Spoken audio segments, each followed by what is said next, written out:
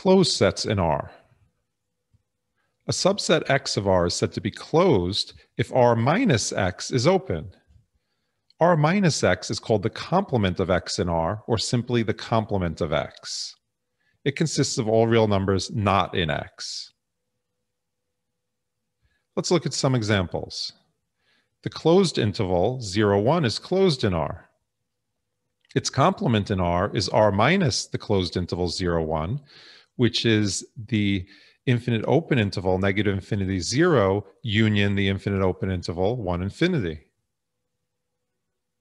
This is a union of open intervals, which is open in R. In fact, every bounded closed interval AB is closed in R.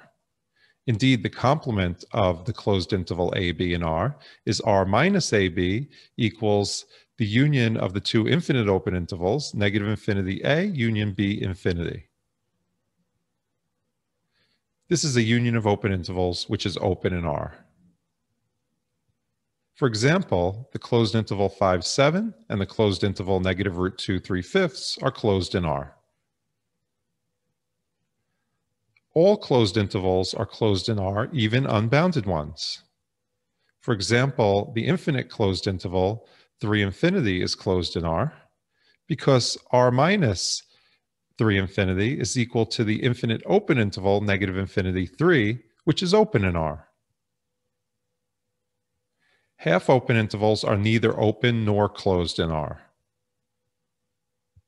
For example, we previously saw that the half open interval 0, 1 that includes 1 is not open in R.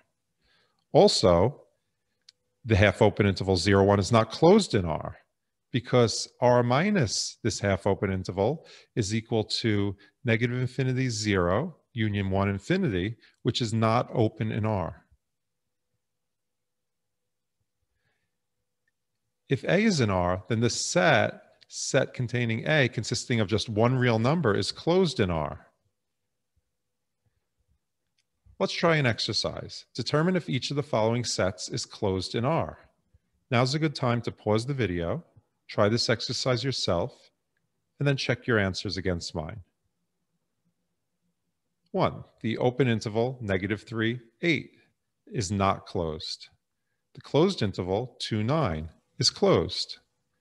The infinite open interval, negative infinity, negative 6, not closed. The closed infinite interval, 0 infinity is closed. R is closed. The empty set is also closed, right?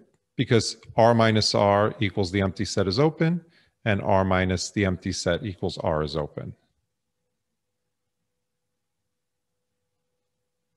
Closed set fact one. An arbitrary intersection of closed sets in R is closed in R. Closed set fact two a finite union of closed sets in R is closed in R. Let's look at some examples. The closed interval negative 5, 2 and the infinite closed interval 7 infinity are closed in R. Therefore, by closed set fact 2, negative 5, 2 union 7 infinity is also closed in R. 1, 2, union 2, 3, union 3, 4, union 4, infinity is closed in R by closed set fact 2. Since the union of finitely many closed sets is closed and a set containing a single point is closed, it follows that every finite set is closed.